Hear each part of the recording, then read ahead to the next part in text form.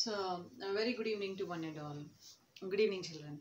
So, today we are going to discuss children intermediate secondary economics. Intermediate secondary economics, fifth chapter, agricultural sector. And uh, today's our topic is agricultural credit. Credit, okay, in agricultural sector. So, children, uh, what do you think that is there any need for the for a farmer? Is uh, whether farmer um, is in need of any financial uh, requirement? Yes, the financial requirement of a farmer that too in India, it depends upon the period and purpose. The financial requirement of a farmer in India depends upon the period and purpose. So, based on the period and the purpose of finance, it is divided into children three types that is, short period, medium period, and the long term period. Okay, very easy one, children. So, the financial requirement for a short period of time by a farmer, it is up to from 15 months or less. The time period of a farmer for a short period of uh, credit children, it is 15 months or less.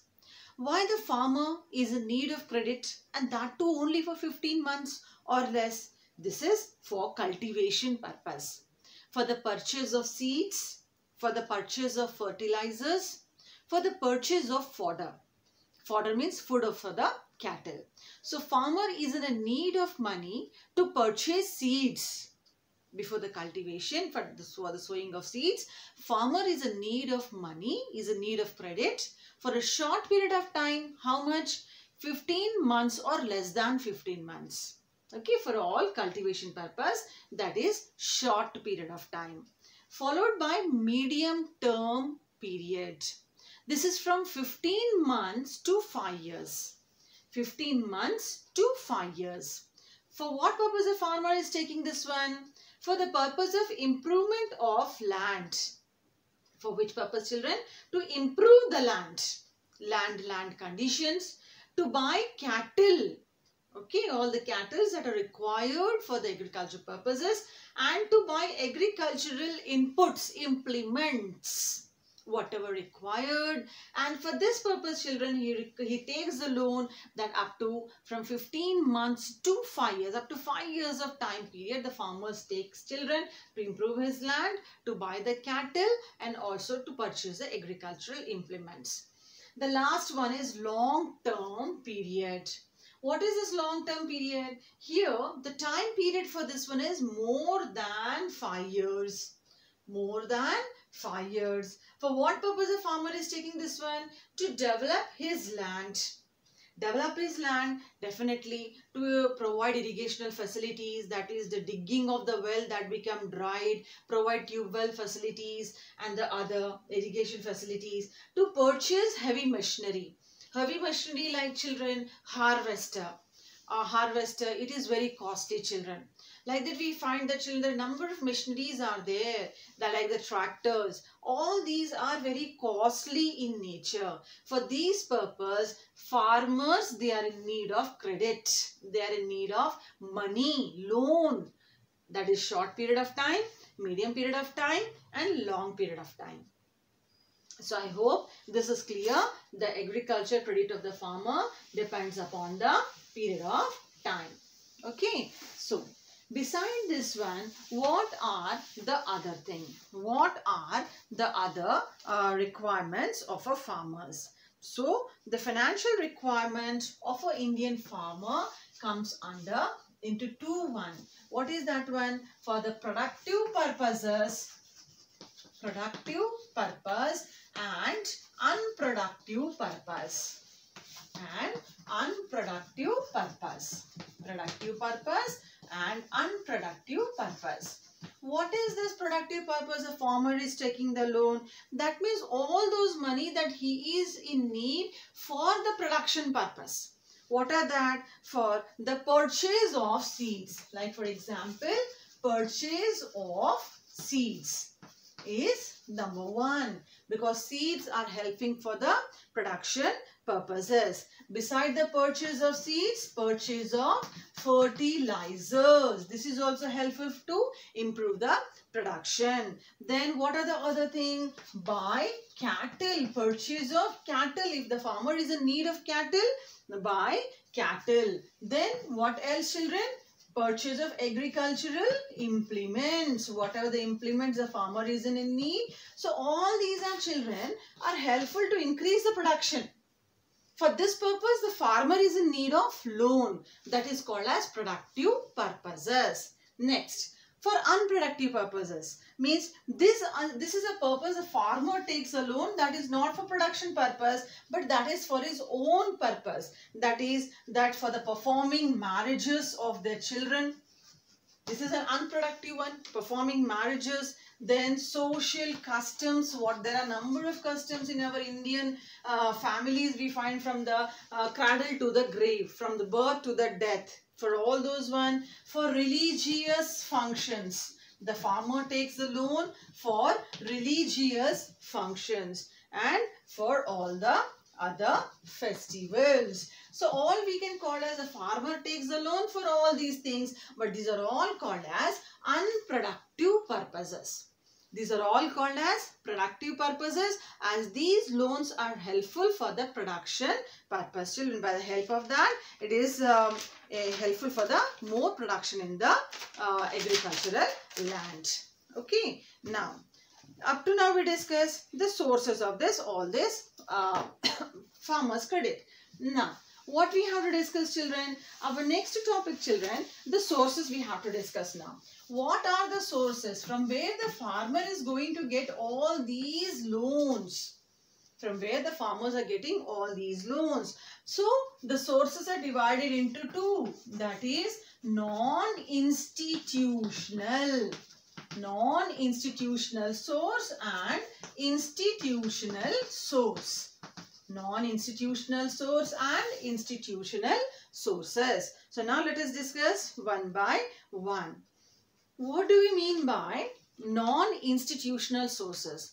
The sources that we can say as money lenders, friends, relatives are also the sources of non-institution, landlords, traders, commission agents. The sources like we can say as money lenders, money lenders, agents, commission agents we say, landlords, landlords followed by friends friends relatives. Relatives these are the sources of we can say as uh, sources of non-institutional.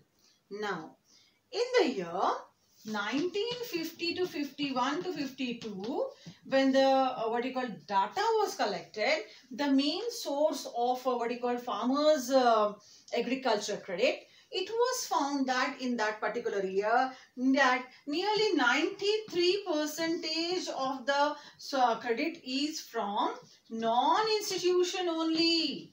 That means in our country, the more number of people, they are taking loans from all these areas, 93 percentage. What is left? 7 percentage. 7 percentage is from institutional like government banks like banks, cooperatives. Okay, only 7 percentage. So what it shows children? It shows that that people they depended heavily on all these sources of credit that reason that re that uh, what is the reason? The people are still they are back of all these sources. The very easy we can say children. The reason is that whenever the person is in a need of money easily he can get that money at any time. Even in the night time also just he has to knock the door of the money lender or any one of these they will get the loan very easily. But the terms of conditions are very uh, tough children that is the interest. The main thing we can say as children the interest the defect of this one is the uh, we can write the defect of this one high rate of interest high rate of interest. But you know children, when the problem come, no one thinks about how much of the interest they are paying children. So the farmers, they are ready to pay high rate of interest. Another defect is easily these people get cheated by all these sources followed by children sometime unable to pay the loan many of the farmers they turned as bonded laborers this is the defect of non-institutional sources. But what is the thing children we can say why it is more because at any time we can get it. If suppose if you want to get a loan and if you want to take that loan from the banks in one visit only bank will not give you loan. You have to go round and round number of time and then only you will get the loan. By that time your emergency is gone away. So for this purpose to meet the emergencies most of the people they go to these areas these areas, these people and they take the loan. So this is the first source of uh, credit, agricultural credit in the, our country. Next one, institutional sources. What are the institutional sources? Like cooperatives followed by number one is cooperatives then commercial banks commercial banks and the third one is regional rural banks. Third one is regional rural banks. Now, what is the objective of institutional sources? Why government started these sources for the sake of credit? The main objective is, you can write here also children, the main objective of institutional sources children, the number one is to provide the timely, that is timely and adequate flow of credit.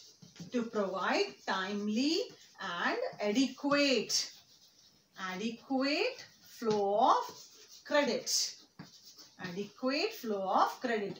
At any time, the people should be able to get the credit. Then what is, what is the importance of this one institutional? To remove, to remove this importance of the burden of money lenders.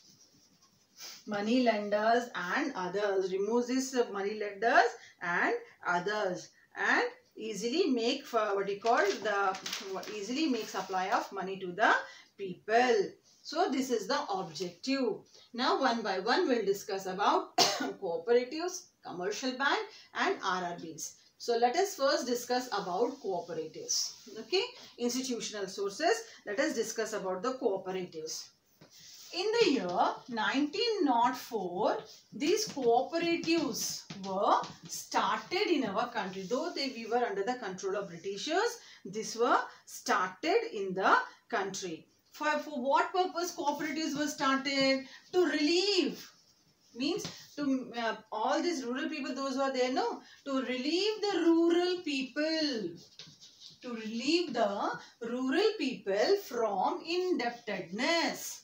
From indebtedness means from the heavy burden of loan. That's why these cooperatives were started. So these cooperatives works under two. That is short term loan and long term loan short term loan and the long term loan. Okay. So what is short term loan?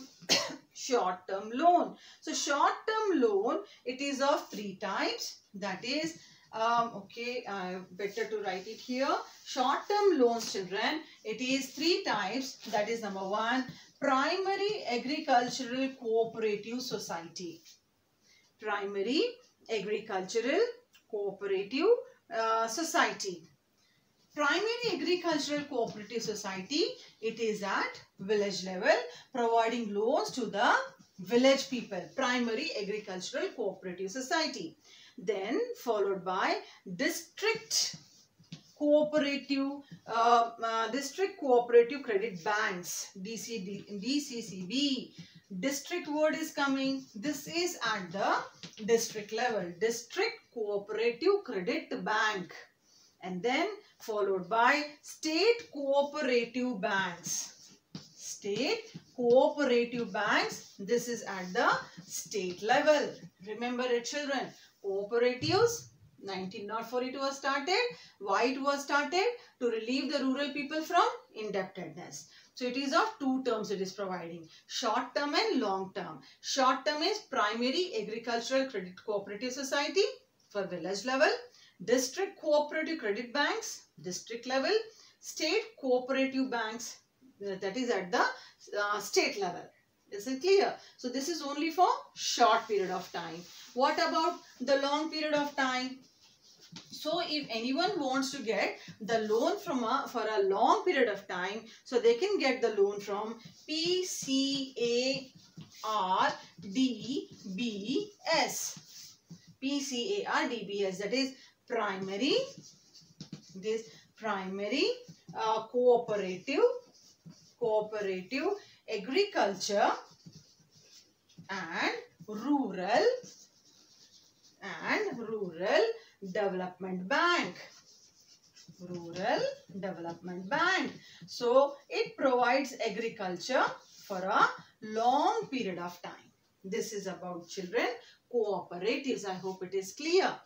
Okay. So we are discussing children. Institutional sources. Cooperatives. After cooperative what is the second one children after the cooperative. So after the cooperative children we have the second one is that is commercial banks. Second one is commercial banks. Children in first year you learn everything about the commercial bank. First year economics you learned about commercial banks. Okay so commercial bank. Commercial bank it shows that um, agricultural credit in the year 1950 the agricultural credit children from the commercial bank was very less.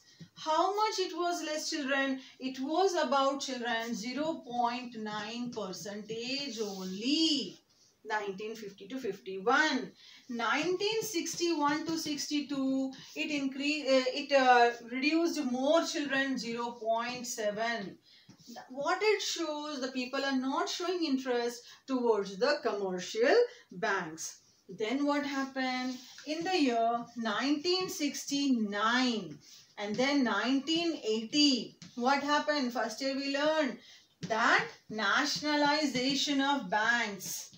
Nationalization of banks children were done means most of the banks were taken under the control of government called as nationalization of banks. So with this nationalization of banks, what happened? Number of branches, number of branches were open.